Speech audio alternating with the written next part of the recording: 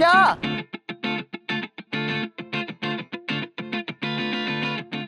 Hello, xin chào các bạn đã đến với Gấu To và mình là Gấu đây. Em qua lộn cái.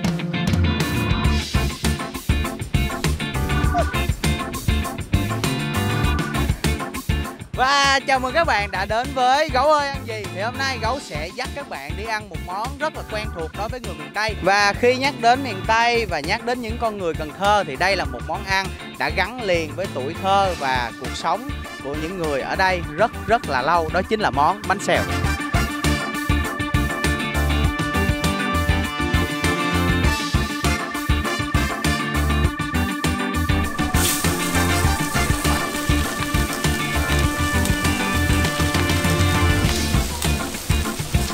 Rồi ok Và đây chính là cái nơi mà làm ra những chiếc bánh xèo thơm ngon của bánh xèo Ngọc Ngân. Còn đây là anh chủ Anh chủ là trực tiếp đứng chiên cho các bạn luôn. Đó không các bạn thấy nhiều chỗ bánh xèo là nhân viên chiên đúng không? Bánh xèo Ngọc Ngân là chính là anh chủ ở đây trực tiếp xuống chiên bánh xèo cho các bạn luôn. Nóng không anh? nấu em trong bếp là phải nóng chứ đúng không? À, chiên mấy cái bánh xèo này anh thì à, quan trọng nhất là gì?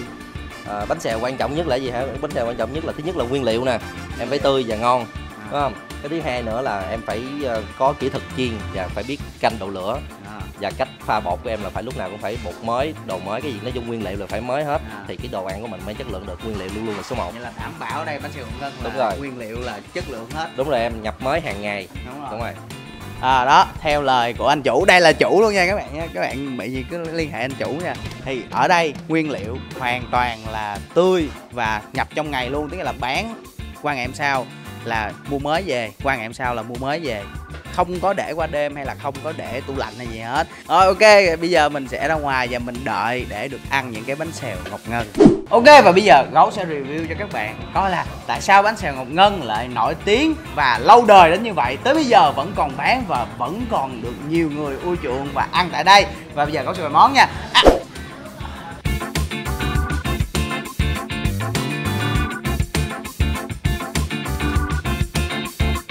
Ok, và đây là ba cái bánh xèo mình mới vừa gọi Đó, bạn thấy không Nhìn rất là hoành tráng và rất là hấp dẫn luôn Thì cái bánh xèo ở cái vùng miền Tây á, Khi chúng ta ăn á, Thì chúng ta sẽ có được một cái bánh xèo bự vậy nè Bự vậy nè Quay cận vô Bự vô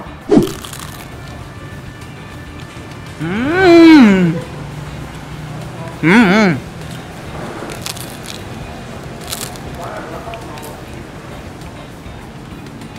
Vỏ bánh xèo. Cực kỳ giòn. Và xốp nữa. Uhm, ngon á. Và nhìn cái hình thức bên ngoài á thì cái màu vàng của vỏ bánh xèo này á nó khác hẳn so với lại cái màu vàng mà của những cái bánh xèo mà gấu đã từng ăn ở ngoài chợ hay ở bất kỳ đâu. Thì những cái bánh xèo mà ở ngoài đường nghĩa là những chỗ kia á thì cái vỏ này á nó vàng khè luôn. Nó vàng dữ vàng luôn. Nhưng mà cái vỏ ở đây thì cái màu vàng của nó hơi nhợt nhưng mà được một cái là rất là thơm mùi của bột gạo. Khi các bạn đến ăn bánh xèo ở quán Hồng Ngân á thì các bạn kêu một cái bánh xèo to như thế này thì các bạn sẽ được cho một dĩa rau cũng không kém to luôn. Đó. Rất là nhiều rau và ở đây gấu có thấy là có cải nè uh, xà lách nè. Cái này là gì? Diếp cá à? Diếp cá với rau thơm. Cái này ăn chắc cả chục cái quá thì gấu sẽ nhờ thử một bạn trong ekip là cuốn một cái cuốn mà gọi là full luôn, full gao luôn, đầy đủ tất cả các loại gao ở đây. Riêng gấu thì gấu chỉ ăn được mỗi salad thôi, đây salad. Rồi, bây giờ chúng ta sẽ bắt đầu ăn thôi và khám phá bên trong những bánh xèo có những gì và nó ngon như thế nào.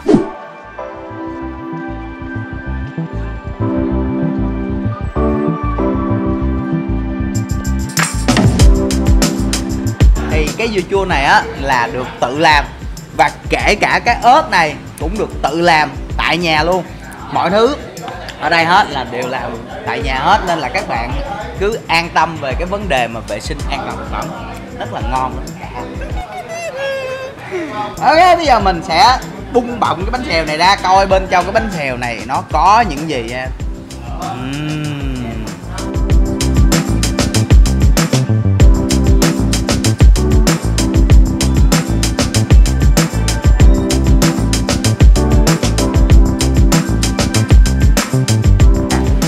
Có thịt đó. Như hồi nãy lúc mà anh à, chủ nó chiên thì phần thịt, này. Phần thịt nó đã nằm luôn, phần cái cái phần thịt ba rọi á, thì nó nằm luôn trong cái vỏ bánh xèo. Thấy không? Mà vỏ bánh xèo này giòn này nhấn mạnh là vỏ bánh xèo này giòn nha. Uhm. Uhm.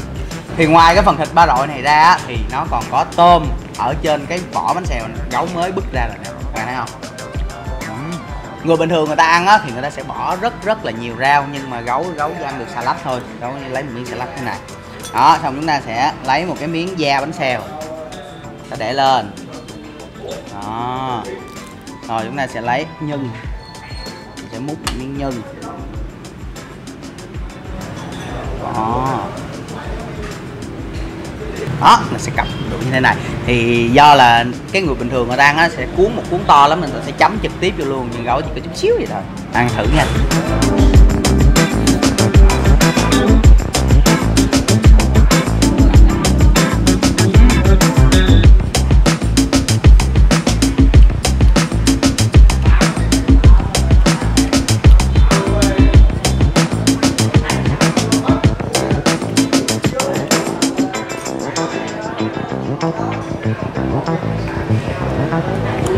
うんうん。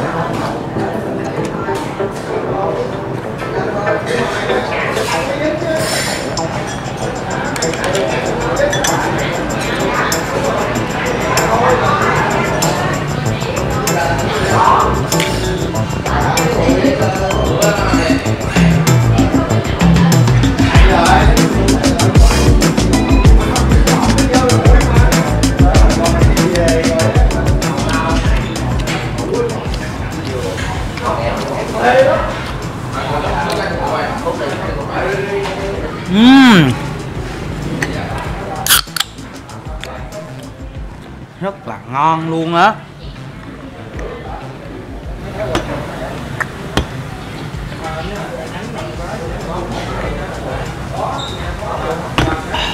khi mà gấu cho một miếng bánh xèo lên trên phần rau và cho một ít nhân, bao gồm có thịt bằm, củ sắn và giá, chấm vô cái phần nước mắm mà của quán cho á, thì cái phần bánh và nó hòa lại với nước mắm á, khi mà chúng ta ăn vô nó có một mùi vị rất đặc trưng của miền Tây. Đây là một cái mùi vị mà rất nhiều người và rất nhiều người đã lớn lên với cái mùi vị này ở cái vùng miền Tây này. Khi mà chúng ta ăn nhai một hồi á thì cái vị béo bên trong đó cái vị béo bên trong bắt đầu nó tuôn ra. Đó là những cái như là củ sắn nè mỡ trong thịt bằm và nhất là có thêm cả đây gấu thấy có thêm là đậu xanh à có đậu xanh nữa nè.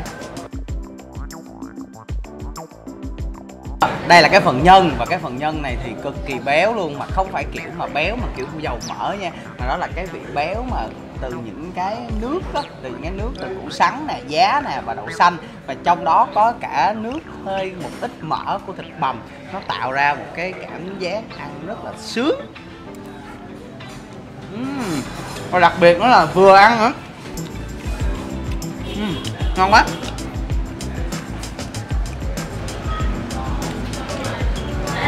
Phần bánh xèo ở đây á khi mà các bạn ăn phần vỏ á, thì ngoài việc bánh xèo nó giòn ra nó còn xốp nữa. Cái điều này nó có gì đặc biệt mà gấu phải giới thiệu với các bạn? Đó chính là khi cái vỏ bánh xèo mà nó xốp á nó sẽ làm cho chúng ta là không bị ngán.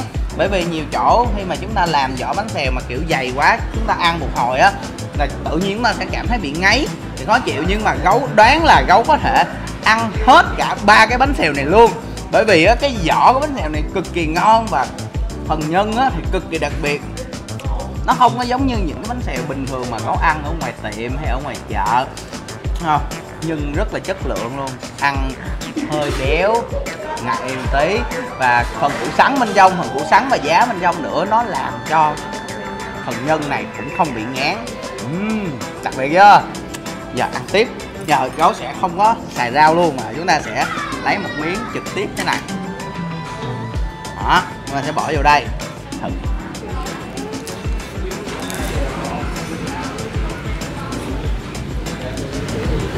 Uhm. các bạn nghe tiếng giòn à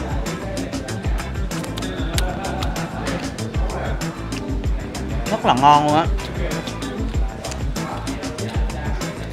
Một cái như vậy thì gấu nghĩ là nếu mà người bình thường á mà ăn á thì chắc khoảng là hai người ăn một cái là vừa đủ. Ừ. nhìn đi á bánh thèo rất là to nha. Khi mà xếp lại á thì nó nhỏ xíu rồi nè nhưng mà bung ra lớn á bánh xèo rất là to. À, nãy giờ gấu để nha là cái phần nhân bên trong nó cực kỳ dày có nhiều chỗ bán bánh xèo á phần nhân bên trong nó ít chút xíu à ngoài bánh xèo ngọc ngân phần nhân bên trong rất là dày.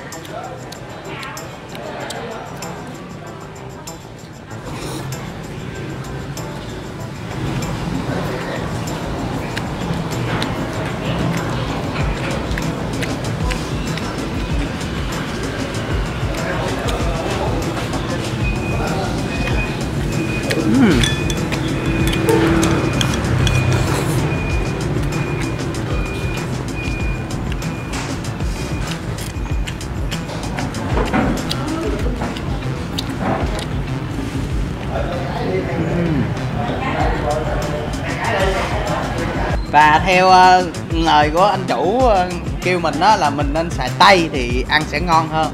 Thì cái bánh xèo này của Việt Nam á, thì nó cũng gọi nó cũng được nhiều du khách nước ngoài á, gọi là pizza Việt Nam các bạn. Pizza Việt Nam á thì đúng thật sự là nếu mà không gấp lại mà để mà bày chọn do ra thì nó cũng giống như một cái pizza thôi. Nhưng mà bị cái là cái pizza này cái phần vỏ nó mỏng hơn. Ừ. vỏ giòn nữa nè để nãy giờ là vỏ vẫn giòn. Ghê thiệt. Ghê ha. Đó giờ chúng ta sẽ bóc tay. Đấy bóc tay. Đó, nhân này chúng ta bóc lên luôn. Hồi nãy khấu rửa tay rồi nha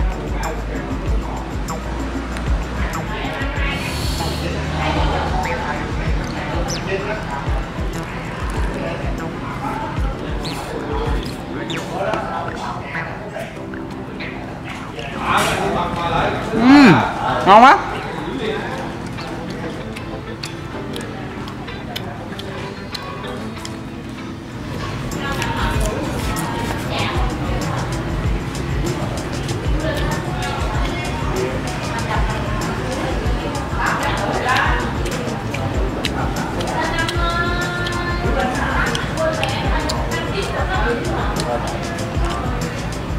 Cái vỏ bánh xèo á nó xốp á, nên là khi mà các bạn nhai á, các bạn phải nghe gột gột gột gột gột gột gột gột.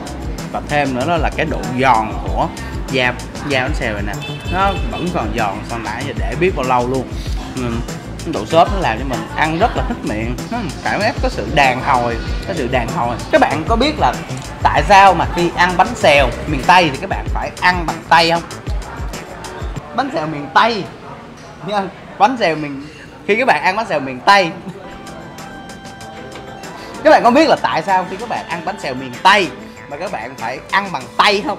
Bởi vì á người miền tây của tụi mình và người cần thơ tụi mình nói chung đi thì là những con người rất là hào sản và cái vùng đất này á, là những cái vùng đất thô sơ và đầy rừng rậm từ xưa. Nên người dân ở đây á, họ thích những cái gì mà gần gũi nhất thì với đồ ăn cũng vậy. Thì món bánh xèo này nè đó là một cái món ăn truyền thống của người miền tây tụi mình. Thì khi mà lễ hay gì đó thì chúng ta đều đổ bánh xèo và mọi người trong gia đình á có một cái sự gọi là gần gũi thân thiết với nhau đều sẽ ăn bằng tay. Nó mang đến một cái sự nhân văn có mang nhiều cái giá trị mà về tính quê hương á rất là đã. Không mà thật sự ăn pizza của nước ngoài chúng ta cũng ăn bằng tay thôi, nên là bánh xèo Việt Nam được gọi là pizza Việt Nam này ăn bằng tay là bình thường, đúng không? Bây giờ mình sẽ dẹp luôn cái chén qua bên thì mình kéo thẳng cái dĩa này vô đây. Đó, ta sẽ một dao rau lên lại. Gấu sẽ quấn một cuốn bánh xèo siêu cấp.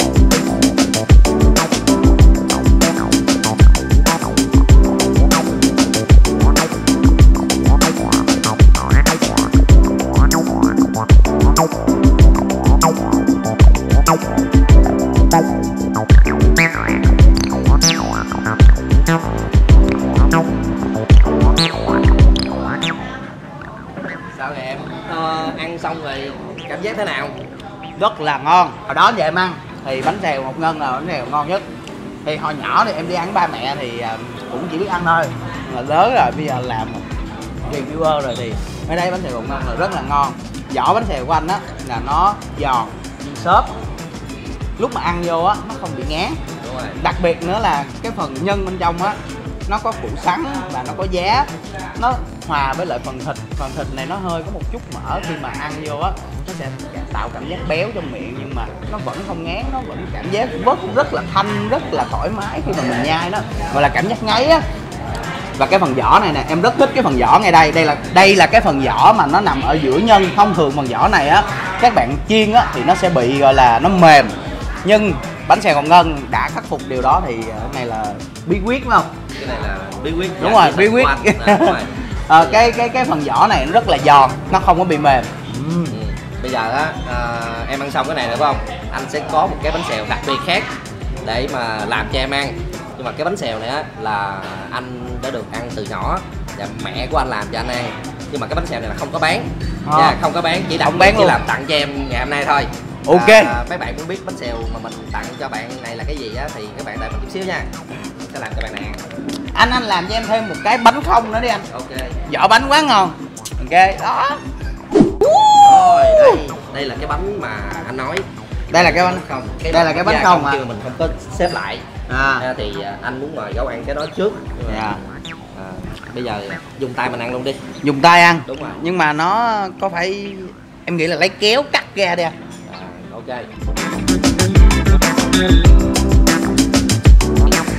và các bạn nhớ đây là cái bánh xèo mà anh đây là anh Quốc Anh ngay gọi là anh Kijin thì anh Kijin thì không bán. Và mình thật là may mắn mới được ăn cái bánh xèo này. Thử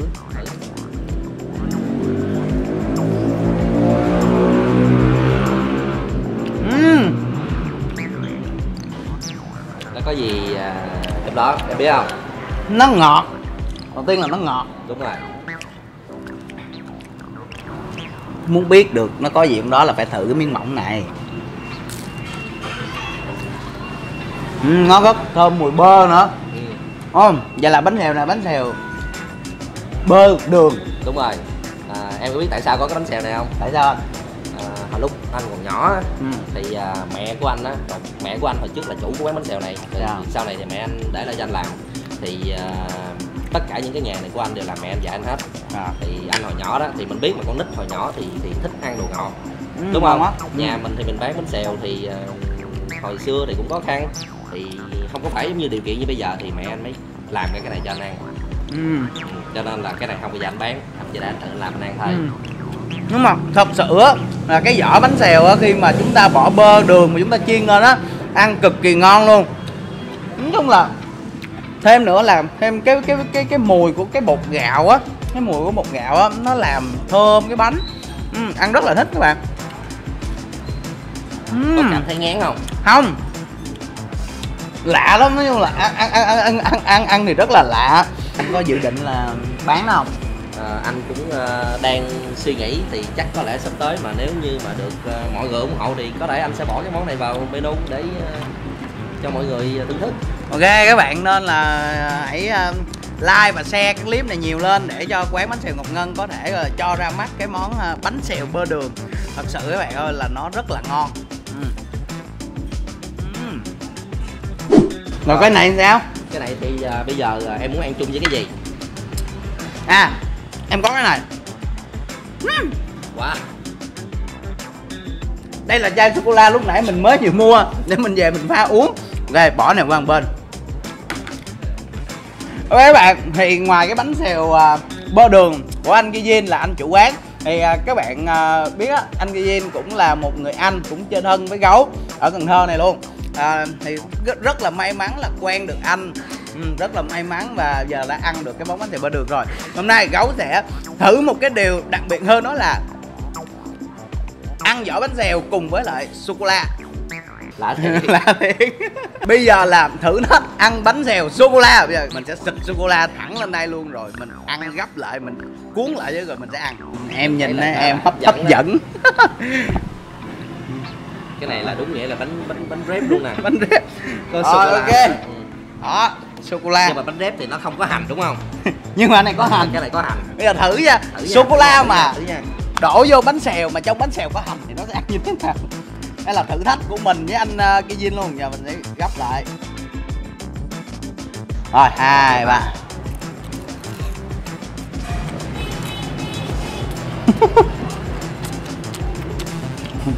Có mùi hành có mùi hành mùi hành hơi chua chua tại bột.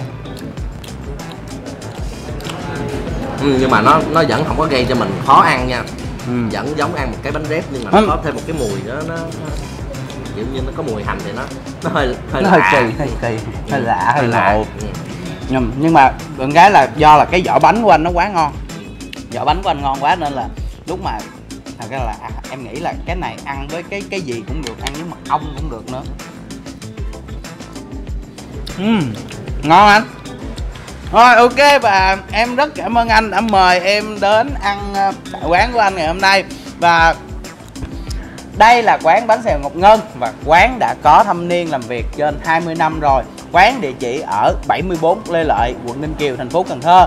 Nếu mà các bạn ờ, có ghé Cần Thơ một lần thì các bạn nên đến quán bánh xèo Ngọc Ngân và ăn ở đây một lần để trải nghiệm thử coi vỏ bánh xèo của người miền Tây nó khác với vỏ bánh xèo của những vùng ngoài như thế nào. Và clip cũng đã hết rồi. Cảm ơn các bạn đã xem clip, thấy clip hay hãy like, share và subscribe cho Gấu và đừng quên nhấn chuông để nhận thông báo từ những clip mới của Gấu. Xin chào và hẹn gặp lại. Cảm ơn anh rất nhiều. Bye bye. bye bye các bạn Ăn ăn cho hết. ăn Bu lại ăn. Bu lại ăn liền. Lẹ lên, đây là bánh xèo sô cô la. Nó chơi nó chơi nó chơi